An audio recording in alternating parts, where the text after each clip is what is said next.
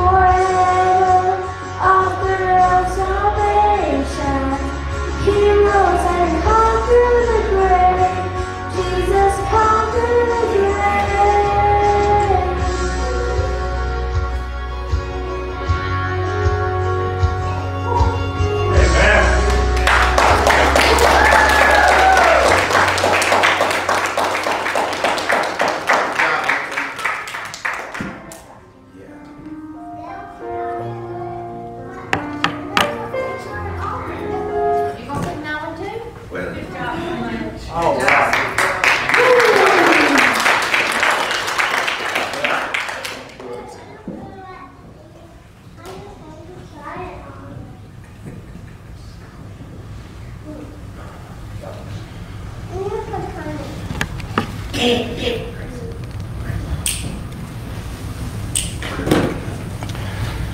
All right, that's just, that's awesome right there. Thank you, Brooklyn. Thank you, Philip. Thank you, Waylon, for playing the drums.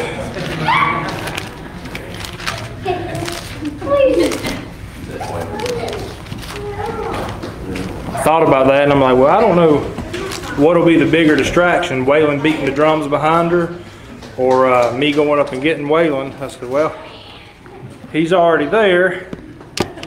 So let's just let him let him beat on him. Yeah. Yeah, I just got done saying you you're not too young to young to uh, worship. He says, "Well, I'll show you, Daddy. We'll get up we'll get up there, but man, that is uh that is awesome and any of you just like Waylon, if you feel like getting up there and worshiping, go right on ahead and get up there and worship. But uh, if you got your Bibles, uh, let's turn to the book of James, chapter 3, and we're going to we're going to look at what God's Word has for us. While, you're finding it, I'm going to go to the Lord in prayer. Father God, Lord, we come to you, Lord, today in the name of Jesus, Lord, the name above all names, God. Lord, we thank you today for the, the opportunity to be here, Lord, to, to hear your word, Lord. Lord, we thank you that your word has changing power, God. Lord, we thank you for all that you do for us, Lord. And if there be one here today under the sound of my voice that doesn't know you as Lord and Savior, Lord, I pray that they'll, they'll quickly make the decision to follow and worship you, Lord. In Jesus' name I pray. Amen. So, y'all got James chapter 3? All right, y'all stand. Let's honor the reading of the Word of God.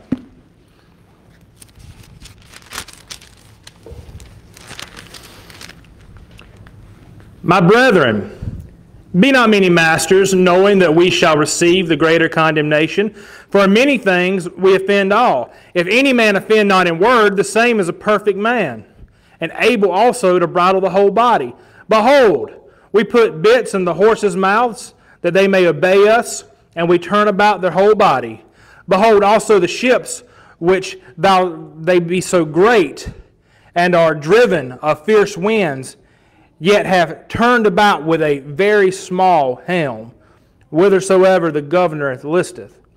Even so, the tongue is a little member, and boasteth great things. Behold, how a great a matter a little fire kindleth. And the tongue is a fire, a word, a world of iniquity. So is the tongue among our members, that it defileth the whole body and setteth on fire the course of nature, and it is set on fire of hell. For every kind of beast and, and of bird and of serpents and of things in the sea is tamed and hath been tamed of mankind. But the tongue can no man tame. It is unruly evil. It is an unruly evil, full of deadly poison. Therewith bless we God, even the Father, and therewith curse we men, which are made after the, the similitude of God. Out of the same mouth proceedeth blessing and cursing. My brethren, these things ought not so to be. Doth a fountain send forth the, at the same place sweet water and bitter? Can the fig tree, my brethren, bear olive berries, either of vine figs? So can no fountain both yield salt water and fresh. Who is a wise man and endured with knowledge among you? Let him show out of a good conversation his works with meekness of wisdom. But if ye have bitter envying and strife in your hearts, glory not and lie not against the truth. The wisdom, this wisdom descendeth not from above, but is earthly, sensual, devilish. For where envy and strife is, there is confusion and every evil work. But the wisdom that is from above is first pure, then peaceable, gentle, and easy to be entreated, full of mercy and good fruits, without partiality and without hypocrisy. And the fruit of the righteousness is sown in peace of them that make peace. Father God, Lord, we come to you, Lord, today in the name of Jesus, Lord, the name above all names, Lord. Lord, we thank you today for the reading and the hearing of your word, Lord. Lord, uh, this particular scripture is, is talking about our tongues, Lord. Lord, I, I pray, Lord, that during this time period, Lord, and every time period that, that I'll take this, this pulpit in the future, Lord. Lord, I, I pray that my tongue be yielded to you, God. My tongue be of service to you, God. And, and Lord, let the real wisdom come from you, God. Let the real teacher, the real preacher come, God. Let the Holy Spirit fill this place, God. Lord, just use me as the, as the vessel, as the mouthpiece that you'd have up here, Lord. And if it be your will not to have me as the mouthpiece, God, then you take me out of here, God, and let, and let somebody, a willing vessel, be your mouthpiece, God. Let it, let it be so in all the churches of our nation. In Jesus' name I pray. Amen. the first point that I want to want to make to you today is it's something I, have got to I've got to call myself down from time to time. And one the first point I want to make is I want to thank God today, right here in front of everybody, for not giving me the desires of my heart. I want to thank God for that today. Instead of giving me the desires of my heart, God thought better to change my heart. And I, I praise God for that. And I hope that you sitting here today under the sound of my voice can praise God for the same thing. James chapter 3, verse 1 says, My brethren, be not many masters, knowing that we shall receive the greater condemnation. This word masters, it means a couple of things. It, it is definitely talking about masters of assemblies. It is definitely talking about men that would fill the pulpit. It is definitely talking about learned scholars of the Word of God. It, it, is, it is talking about a bunch of different things there. And we need to pay attention here. Be, my brethren, be not many masters, knowing that we shall receive the greater condemnation. I, I, want to say this first and foremost that the man of God, whether he be in the pulpit or whether he be in the seminary, he will be held to a greater and higher standard because that man is supposedly has the truth and what he does with it he'll be judged by. And you here today, hearing the Word of God, knowing the Word of God, what you do with the Word of God, you will be held accountable for that. At the moment of my salvation, when I, when I say I thank God for not giving me the desires of my heart, at the moment of my salvation, I knew that I was being called to preach. I absolutely knew it. And I ran from that call. I ran from it because I wanted to have control over the type of ministry that I was involved in. And you may say, well, well Robert, you didn't run from the call, you went to seminary. I went to, yes, I went to seminary. I think that was my phone. It might, that better have been Jesus calling me. No, it come through on mine too, I believe. Maybe somebody in here is texting the whole group. But when you, you may think, well, you went straight to seminary, so you did, you did answer that call immediately, but that wasn't the case. When, when I went to seminary, I knew from time to time I'd fill the pulpit from places, but it never was my intention to do that. It never was my intention to, to uh, pastor a church. I thought, well, that might be a temporary solution, a means to an end to get me to, to what, what I actually wanted to do. But I knew I was called to preach. But I had this other idea. I had, a, I had an idea that I thought was better than the, God idea, the, better than the idea that God had for me, better than, than, than the great planner. I thought my plans were the, were the most important. My desire after salvation before salvation, I wanted to be a constitutional lawyer. After salvation, I wanted to go teach the Word of God in a seminary. I, I, wanted to, I wanted to go up to one of the, the big boy seminaries and have one of those classes sit there, teach the, the same subject from now until retirement, write books on that subject, and just, just be able to give out to those students every little thing that I'd uncovered from the Word of God. But that wasn't the plan that God had. It, was, it definitely wasn't the call that God had, it was the call that Robert wanted to have from God. And I, I even went so far to give God a list of things that I would not do. On top of that list was youth ministry. Very tip top. I'll never in a million years do youth ministry. Why not? Because I get mad at my kids. I, I, I, fuss, I fuss at them. I spank my kids often, and I still feel like they don't get spanked enough. So when, when I'm around a whole bunch of kids, I'm going to tell you what, when my kids are in the room, I guarantee they're the most spanked children in that room.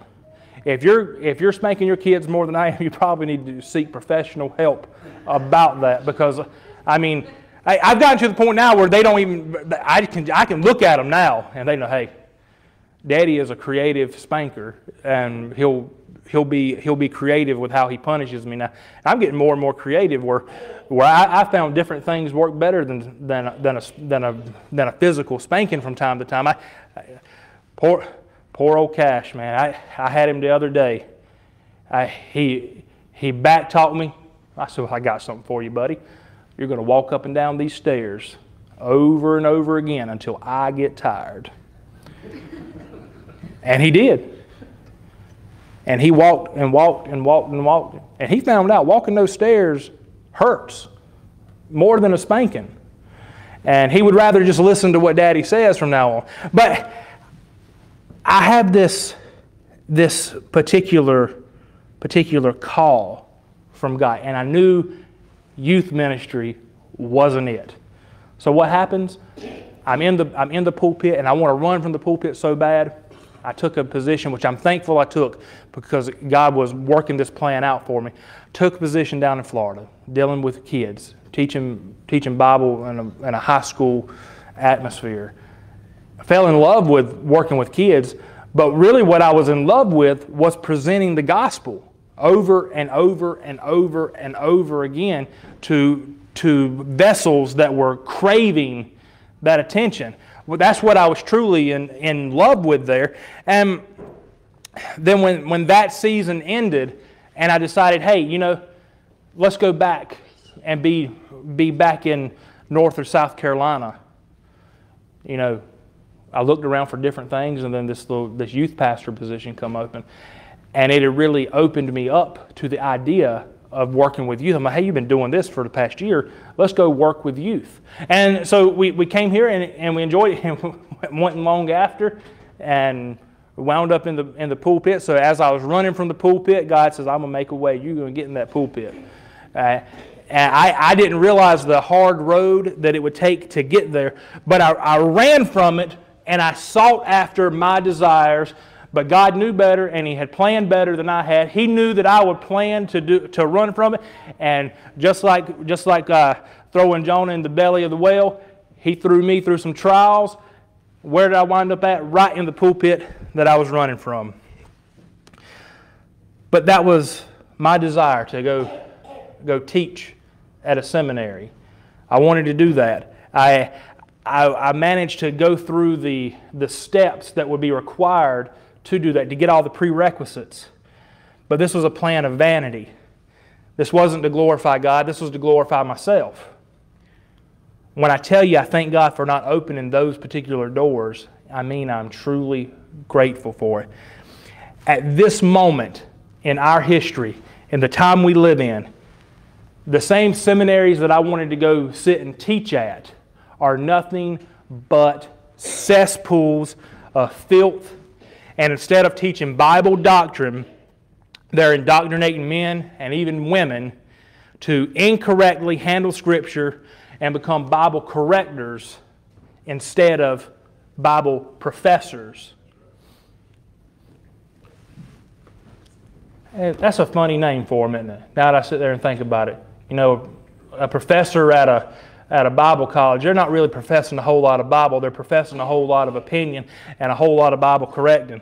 But right now, at this very moment, if, if you'll go, uh, you can look it up on the internet, there are at least 91, 91, not different seminaries, different denominations of seminaries. 91 different ones. If you'll go to the, the ATS website, which is the big, uh, the big accrediting uh, body that accreditates seminaries uh, in America, there are 91 active denominational seminaries, and each of those denominations has several different seminaries under their, under their little section that they're in, under their little denomination. And every one of those 91 teach something different.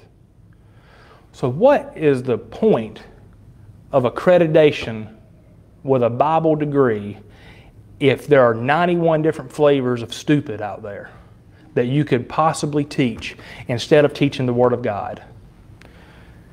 I thank God for not allowing me to become a Bible corrector. I thank God for calling me to preach. And there's a difference between a teacher and a preacher, and I thank God I escaped the, the teacher part. It's fair to say that you could teach from the pulpit, but a preacher is something else. A preacher, I don't have to try to, to sway you into to believing what I believe. A preacher is a herald, and that means that's someone who, who shouts loudly. That's someone who proclaims the Word of God. It's not some kind of doctrine I want you to, uh, to believe. It's the Word of God I want to point you to. If you don't hear anything I have to say, is you don't have to pay me any attention, but pay attention to what God has said. I have nothing of any more importance to tell you than God's word is perfect, and it doesn't matter what man stands behind the pulpit, unless it were Jesus Christ Himself. That man is fallible, and he is not perfect. Only Christ is perfect, regardless of the man. You don't have to get your doctrine from a seminary. You don't have to get your doctrine from a preacher. You can get your doctrine from the Bible itself. Praise God, we have that ability. Praise God, we live in a time with ease of access. Within the language that we speak, we have unlimited access to the perfect, pure, infallible, inspired Word of God. these, uh, these seminaries, they want you to sit under their Bible corrector. They want you to sit under that Bible corrector who has a small God. And they want you to te- they want you to listen to the teachings that that man has for you. They want you to, to buy into his small God theory. And they want you to, to buy into the books that that man would sell. And they want you to, to buy into the, the books of the people that would come through that seminary. I, I saw something just, just today, it just made me absolutely sick. A young man was looking for, a, um, for some uh, recommendations on a, on a particular uh, seminary. And what he was looking I'm, I'm thinking, man, like, how, how dumb do you have to be to ask for the recommendation that you're asking for? It had to line up specifically with this doctrine that he was looking for. Well, if you already know the doctrine that you want, what, what's the point in even going? You already know what you want to believe. You just want somebody to confirm what you already believe. That, that's, that's crazy talk right there. If I want to learn something, I want to learn something that I didn't know before. That's why I love when I find out I've been wrong about something in Scripture because I have an opportunity to learn something versus taking something that I've already thought and having somebody back me up on it. I, I, I love being able to, to actually learn. And I'm going to tell you what, if you go seek out men that already think like you do to learn from that man, I can promise you, you're not going to learn anything. You'll have what you already know backed up, and that does, that does nothing for you. But if you'll go to the Word of God, you'll see so many things that have been covered and hidden from you by denominational teaching that it is just flat out sickening and you'll, you'll have things revealed to you that, that you'll never have revealed to you in seminary. I can, I can promise you this from somebody that's gone from, from step one all the way to the final step in seminary, I can promise you this that I learned more in sermon prep and Bible study than I've ever learned under any seminary professor ever. Anyone. So I, I say that because you, you cannot sling a dead cat without hitting somebody that's got a stack of degrees on the wall. You can't, you cannot do that. And I'm, I'm glad I've got them because you know what that stack of deg- degrees did? That stack of degrees gets you a foot in the door in some places. Because I'm, I'm going to tell you what, you go right now to the, the websites where pastors look for jobs at. Hey, if you ain't got that stack of degrees, guess what? You're not getting in the door there. That church don't want you because they have a predetermined message that they want to hear from a predetermined group of men who have learned from a predetermined group of men and care nothing about what the Word of God says. Absolutely nothing. And that's the state of the church. In the Sunday school class this morning, it was said that the, the bride of Christ is filthy. Well, let me tell you, that's why it's filthy right there. Because the bride of Christ has, the, has a predetermined idea of what they want Scripture to say instead of seeking out what it actually says. And it, it, would behoove us. You want to see real revival in America? You seek out the Scripture and not your own personal preference. You seek out the Word of God, and the Word of God will change you. And if you and the Word of God aren't meshing, it's you that's wrong. It's not ever the Word that's wrong. You need to look at that word like it's a mirror, and you wouldn't, you wouldn't if, if you were to walk out of the house in the morning and you had a, uh, uh, we, things we talked about, so we talked about bumps and stuff in there too, but you wouldn't walk out the house with a great big old nasty honker of a zit on your nose right here without mashing it. Well, some of you walk around, myself included, walk around with great big old hunkers of spiritual zits on us that we're not doing anything about but if we'll look at the Word of God, let the Word of God be our mirror, we can, we can clean ourselves up a little bit based off of the Word, based off of the mirror. But I thank God for saving me from that. I thank God that we don't have to depend on scholarly work or professors or preachers, that we can depend on God's Word. These seminaries, they want to control and persuade what's preached in the pulpits instead of allowing the Word of God to have its way, instead of allowing the Spirit of God to have room to move freely. I thank God for saving me from that. But I hope those teachers pay close attention to, to this passage of Scripture at who has the greater condemnation, because it is the teacher. it is the preacher. And it's my intention to stand before God one day and here are the words of Matthew 25 21, where the Word of God reads this way His Lord said unto him, Well done Thou good and faithful servant, thou hast been faithful over a few things. I'll make thee ruler over many things. Enter thou into the joy of thy Lord. And one of the few things that I have full intention of being faithful over between now and when God calls me home is I plan on being faithful to rightly divide the word of truth. And I have no doubt whatsoever on that day that many Bible correctors that have plagued this world, they'll hear something a little different. Matthew chapter 7, verses 15 through 27.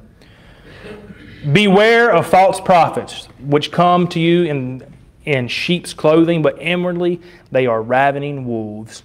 This is a conversation that Brittany and I have often. How can, how can these people that seem so good be so evil? She'll say, well, how, says, how do you feel comfortable actually saying that from the pulpit? And I tell her, because it is what it is. Because the Bible said it would be this way. They, they, they come in sheep's clothing. They come, they come in the name of, of teaching you the Bible. They come in the, they come in the name of, of helping you grow into a scholarly Christian instead of a devoted Christian. They, they, come, they come into these, they come to you and it looks innocent, but it's not innocent. They're ravening wolves. Ye shall know them by their fruits. Do men gather grapes of thorns of, or figs of thistles? Here's a fruit to know them by. Do they think they know better than the Word of God knows? Do they, do, do they correct a perfect, infallible God?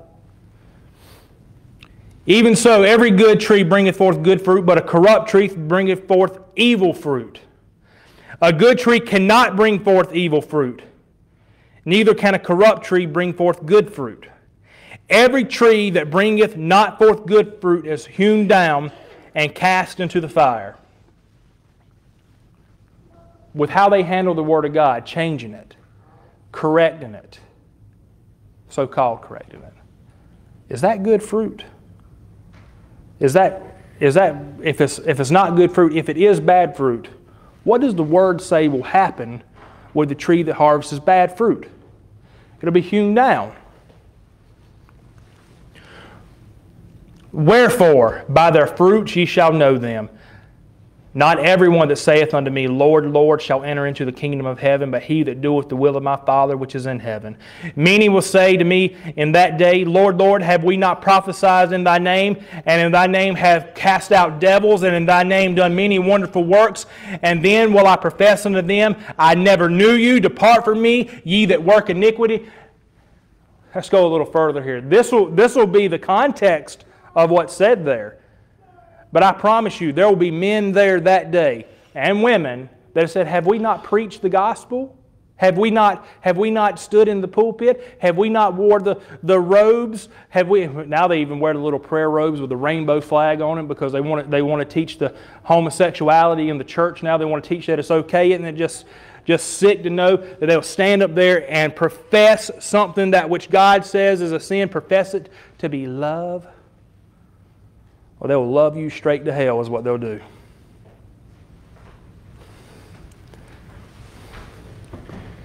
God will profess that He never knew them. And they'll say, Well, we did all this good stuff for you, God. We, we, we, spent, we dedicated our whole life to correcting all the mistakes you made in your word.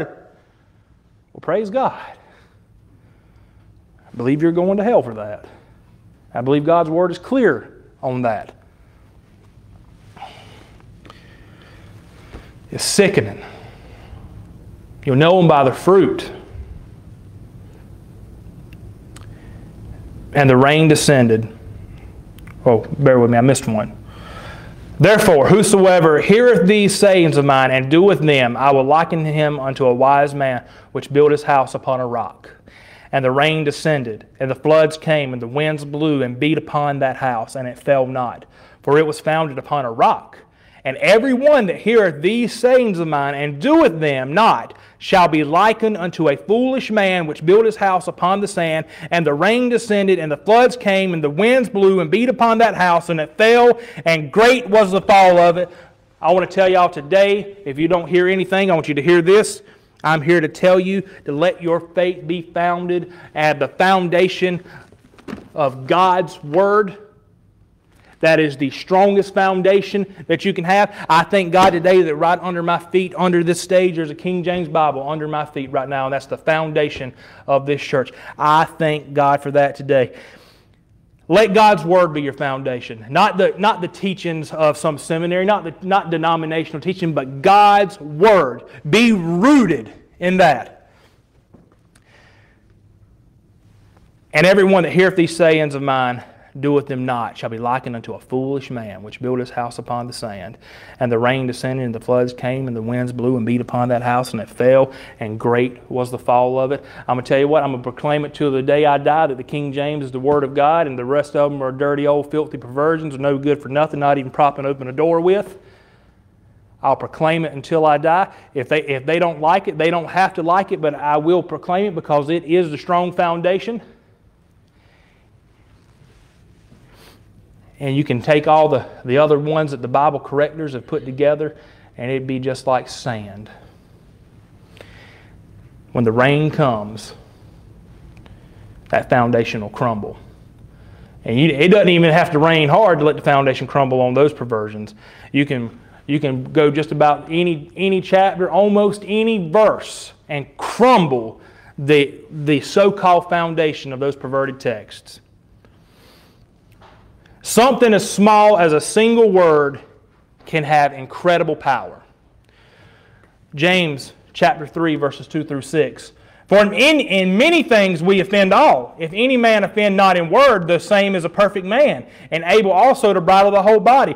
Behold, we put bits in the horse's mouth, that they may obey us, and we turn about their whole body. Behold also the ships, which though they be so great, are driven of fierce winds, yet are turned about with a very small helm, whithersoever the governor listeth.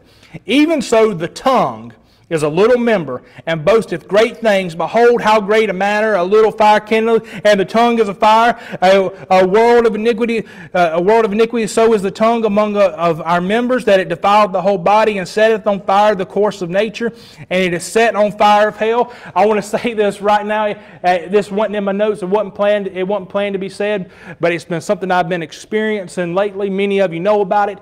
I broke a tooth off not long ago and it started touching my tongue. That tongue swelled up in my mouth, and it was hurting. It was hard to even talk.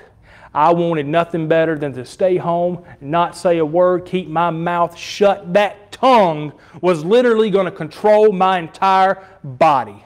That little piece of flesh right there was going to control it all. And I wanted just to say that before I get into this. Because the truth is, a man's tongue has the ability to lead many people into some pretty rough temptations. My, my little tongue was about to lead me, I thought, into a, a hospital bed because it hurt so bad. Praise God, it's, it's quit hurting. It might, it might hurt to, today, but it ain't hurting right now. With just his voice, his tongue, Adolf Hitler gave a command that would kill millions of people with his tongue. Pharaoh King Herod, with just their tongues, gave commands that would kill untold numbers of people. Men have challenged God's word since the beginning of time, and their words have gotten them into trouble. They said the Titanic was unsinkable. Anybody know where the Titanic's at right now? It's at the bottom of the Atlantic Ocean, North Atlantic Ocean to be specific. Unsinkable, huh? Just recently, anybody ever heard of Kathy Griffin, the not so funny comic, who just recently stood on stage? I'm, I'm, she held up a trophy or an award that she had won. And I, I, hope this word doesn't, doesn't offend any one of you in here. It's a, quote. She said, Suck it, Jesus. This is my God now. And she said that.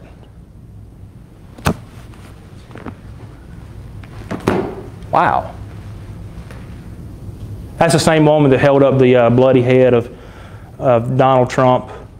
You know, that's the same woman that just tweeted uh, when he came out and said he had the coronavirus, that, that tweeted, Is he dead yet? Let me know when it's over. She stood on stage and she said, Suck it, Jesus. This is my God now. Talking about that little idol in her hand. Hmm. You know what Kathy Griffin's up to right now? Cancer. It's killing her. Titanic's unsinkable. Kathy Griffin's got her own little guide now. Wonder, I wonder if she prays that thing to heal her. I pray that she'll turn to Jesus Christ before it's too late. I pray that. She's not too evil to save, I promise you that. If she's too evil to save, then I was too evil to save. Let's go a little further here. Some of y'all might be old enough to remember John Lennon. Y'all remember John Lennon? Anybody in here?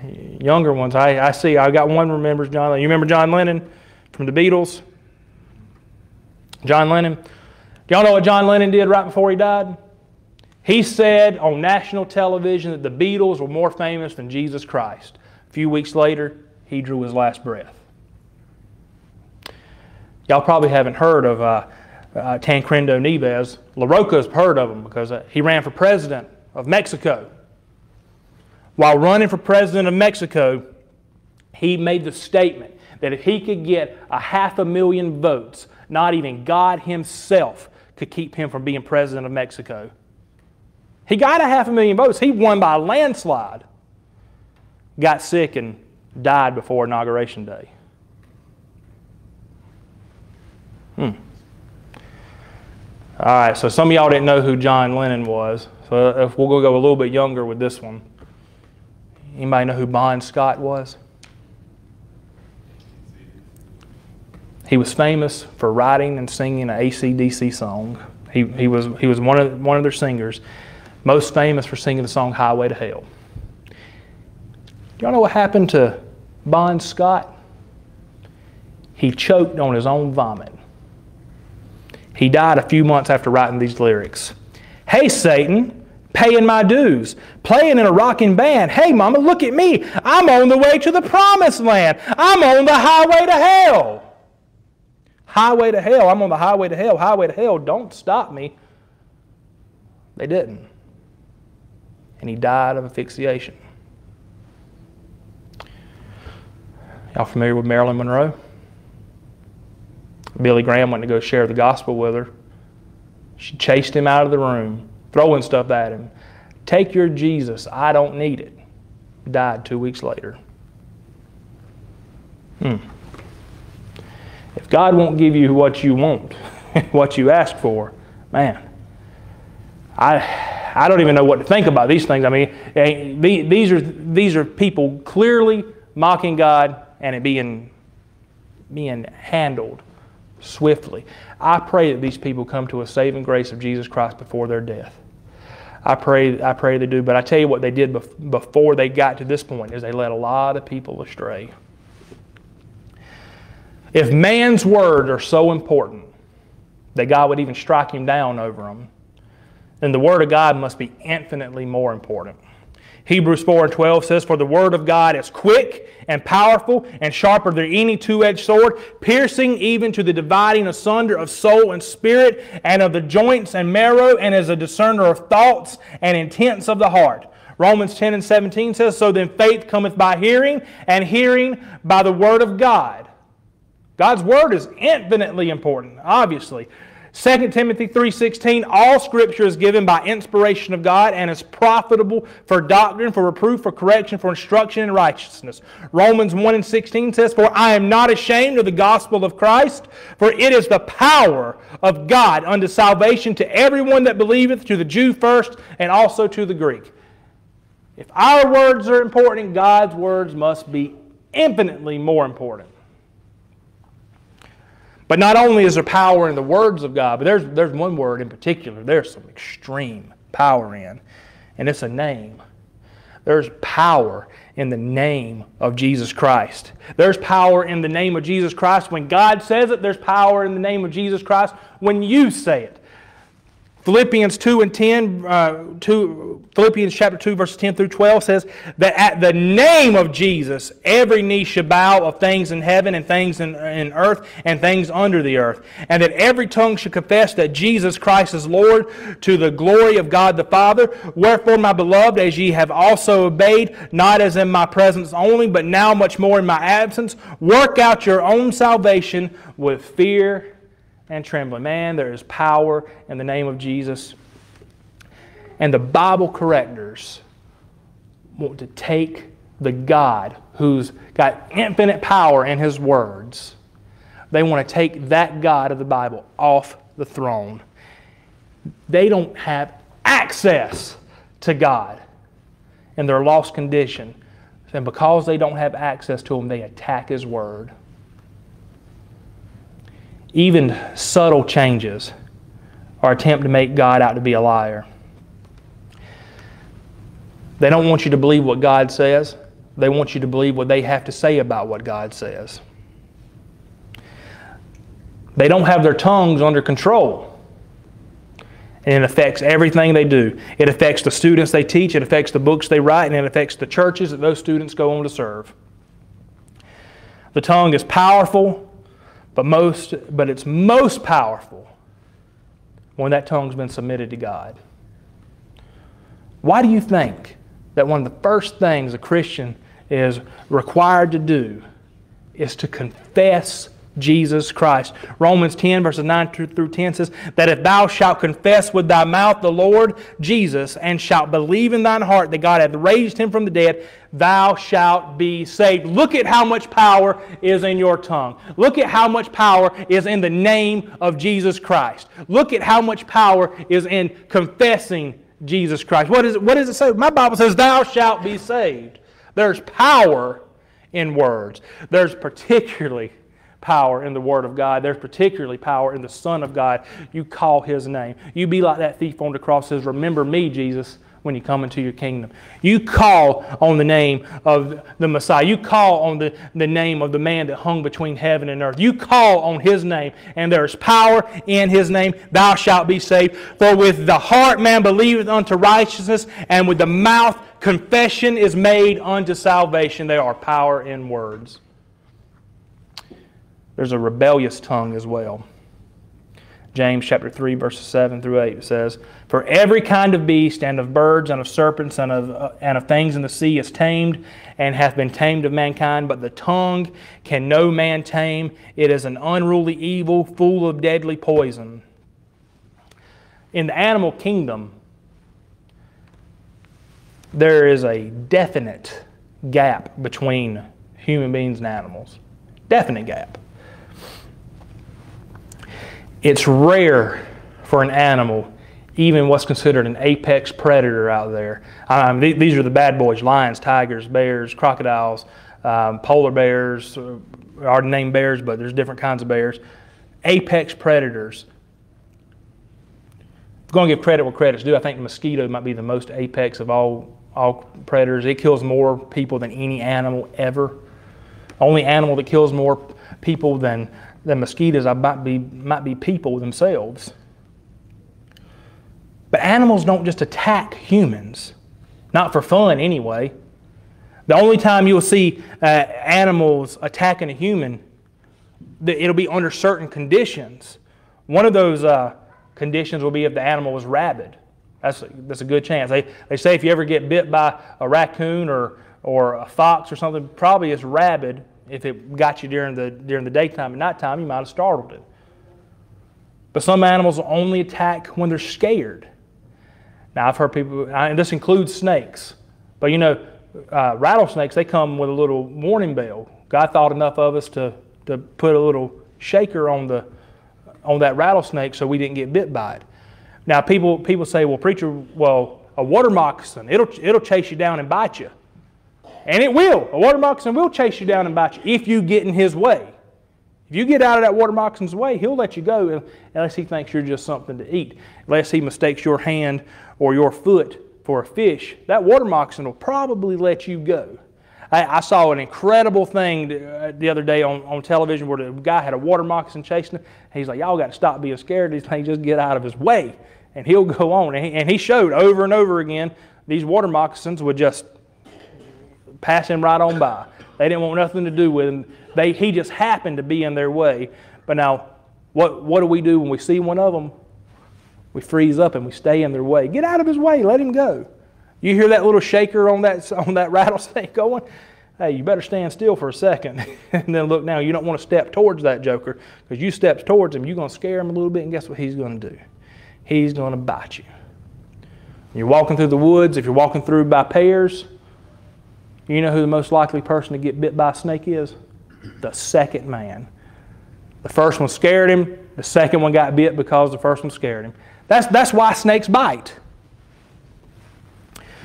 Some animals will only attack when they're hungry lions, tigers, and bears. Oh my. Well, she might watch it later, but Brittany, Brittany, well, Cindy gets hangry, and you know, women are women are good about attacking when they're hungry. But some sometimes animals just do that. They attack because they're hungry. These things they do happen, but they're extremely, extremely rare. In fact, more people are killed every year by getting trampled by cows than they are eaten by lions, tigers, bears, sharks, alligators, and crocodiles combined. Trampled by cows. My high school librarian, she got kicked by a cow not long ago and they thought it was going to kill her. I'm like, well, great day. That's not something you expect to hear uh, via Facebook that somebody got trampled by a cow. But hey, it happens. I've never known anybody to get eaten by a lion. Not me personally know them, but trampled by cows, well, I've known plenty of people to get stomped. I even got attacked by a pig one time. But this happens when they're scared or hungry. Animals have a rational fear of humans, but no human that I know of lays in bed at night and thinks, you know what, I'm to get up and go to the bathroom, get me a drink of water. I hope a lion doesn't jump on me and pounce me in my kitchen or in my bathroom. No, no human fears that, but guess what? Animals rationally fear whether or not they're going to get shot when they go out. They rationally have a fear of humans. And they stay away from us because of that. They do their best to stay away from us. You won't find grizzly bears uh, roaming around New York City looking for a snack. Animals try to stay away from humans. But human beings will go so far as to put an animal in a cage and they'll train that animal until it's tame, until it can eat out of your hand.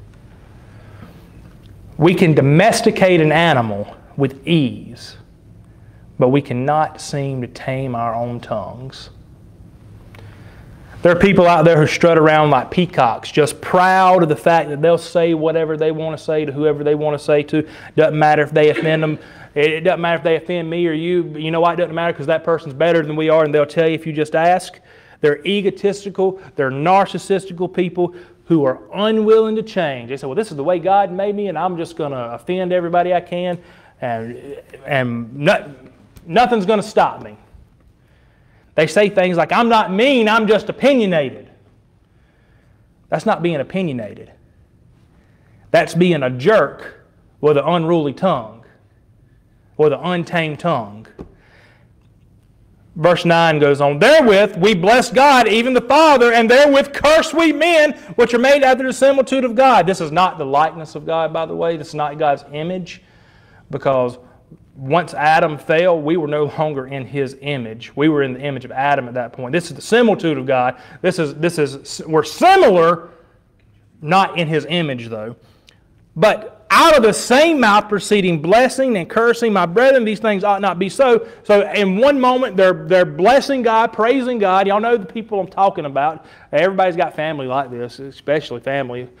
Great day but everybody knows who I'm talking about here. You, you got people that'll, that'll bless God, praise God around the right people. and then curse God's creation around the right people. I'm, tell you what, if you got people that are cursing God's creation, cursing other people around you, you might want to find out why they're comfortable doing that around you, first off. You might want to get that nipped in the butt pretty quickly. But out of the same mouth proceeding blessings and cursings, you know, think about it. We curse God, but then, well, we bless God, well, they might as well be cursing God. They bless God and then curse His creation. Doth a fountain sent forth at the same place sweet water and bitter? Can the fig tree, my brethren, bear olive berries, either a vine fig, vine fig? So can no fountain both yield salt water and fresh? It is double-minded of us to praise God and curse His creation. It is double-minded. It, if I told you that about Kathy Griffin earlier without, without telling you that I would like for Kathy Griffin to be saved, that would be double minded of me. I want Kathy Griffin to experience Jesus Christ just as much as I want Azariah to experience Jesus Christ, just as much as I want my children to experience Jesus Christ. And anything less than that would be hypocritical and double minded, and I won't be fit to stand in the pulpit.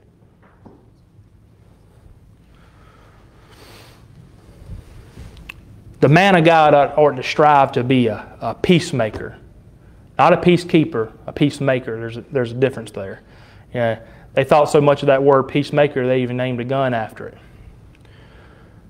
Verse 13 says, Who is a wise man and endued with knowledge among you? Let him show out of a good conversation his works with meekness of wisdom.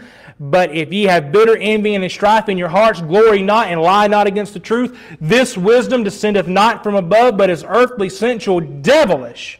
For where envy and strife is, there is confusion and, e- and every evil work. But in the wisdom that is from above is first pure, then peaceable, gentle, and easy to be entreated, full of mercies and good fruits, without partiality and without hypocrisy. And the fruit of righteousness is sown in peace of them that make peace. The wisdom of man is full of lies and it's devilish. There cannot be peace without purity those men in those seminaries, they can't possibly teach peace if their word's not pure, if they have to correct it. They cannot possibly be teaching God's word because God's word is first pure. There cannot be purity without righteousness. Science and psychology and seminary does not offer peace. They offer compromise. Attempts to correct the Word of God do not offer peace, they offer lies. Claiming that God's Word is perfect, or that, excuse me, claiming that God is perfect, but His Word is not, is heretical. Claiming that God, that God inspired His inspired Word, right here, claiming that God's inspired Word was written by men instead of giving the credit of authorship to the Holy Spirit is blasphemy. Man couldn't have done this work. The Holy Spirit had to do that work. Over 40 authors, almost 1,600 years, and it fits together perfectly. Authors that never met each other, authors that at one time would have killed each other, and the Word of God fits together perfectly. In conclusion, I'm going to say this Men may have an unruly tongue, but God says what He means, and He means what He says. Psalms 12, verses 6 through 7 says, The words of the Lord are pure words, as silver tried in a furnace of earth, purified seven times. Thou shalt keep them, O Lord, thou shalt preserve them. Here it is right here from this generation forever. Psalms 119 and 89 says, Forever, O Lord, thy word is settled in heaven. But we're going to correct it on earth, right? 1 Peter chapter 1, verses 24 through 25. For all flesh is as grass, and all the glory of man as the flower of grass. The grass withereth, and the flower thereof falleth away, but the word of the Lord endureth forever. And this is the word which by the gospel is preached unto you. I'm ready for you, Franz. God said a few things. One thing he said is that we're all sinners. Remember, God's word has power. It's more powerful than the words of man. God said that we're all sinners. God said that He sent Jesus Christ to save sinners, not good people.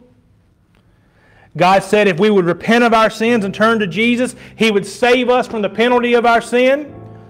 Would you let Him do that today? Would you let Him save you from the penalty of your sin? Would you would repent from your sins and would you turn to Jesus Christ? Would you trust Him with your eternal soul and surrender your mind and body to Him today? Would you go even further? Would you surrender your tongue to Him today? And let Him speak through you? Would you use the most powerful part of your body, the tongue, to glorify King Jesus? If y'all would stand to your feet.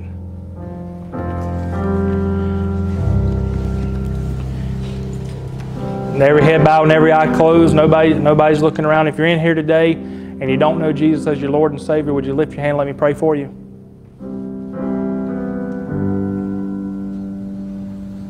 If you're in here today and you know you've submitted your mind and your heart to Jesus, but you'd like to submit your tongue, would you lift your hand and let me pray for you today?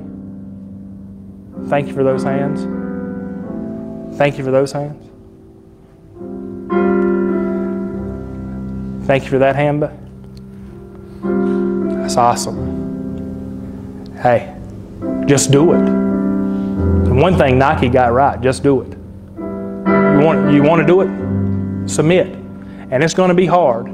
It's going to be, it's going to be difficult. People are going to hate you. People are going to talk about you. People are going to run you down. But they're just getting to you because they can't get to God. And you don't have nothing to worry about. Because our God is our protector. When the man of God or woman of God is in the will of God, doing what God would have them do, that person has absolutely, eh, that, that, that person is absolutely uh, immortal as long as they're in God's will. That don't mean you can't won't go out there and get hurt. That means as long as you're a willing vessel, God will continue to use you. He will continue, and He'll protect you divinely. He'll let you suffer the things you need to suffer, but He will protect you divinely. He will sharpen you, and He'll send the right people at the right time to you, and He'll send you at the right time to the right people. If you'll submit mind, body, and tongue to Jesus Christ. These altars are open, those of you that have business to do with, with our Lord and Savior. Father God, Lord, we come to you, Lord, today in the name of Jesus, Lord, the name above all names, God. Lord, we thank you today for the reading and the hearing of your word. Lord, we thank you for those that raised their hand, Lord, and profess that they want to submit their tongue to you, God. They're so far, God, their hands have been faithful and the hands raised, Lord. But I pray as they go forward from this place, Lord, I pray that what they were professing with their body will be confirmed with their tongue, God. Lord, we thank you so much, Lord, for the salvation that we're given. Lord, we thank you so much for your word, Lord. We thank you so much for all that you do for us. But Lord, we mostly thank you for sending your Son to die on the cross of Calvary for our sins, Lord. In Jesus' name I pray. Amen.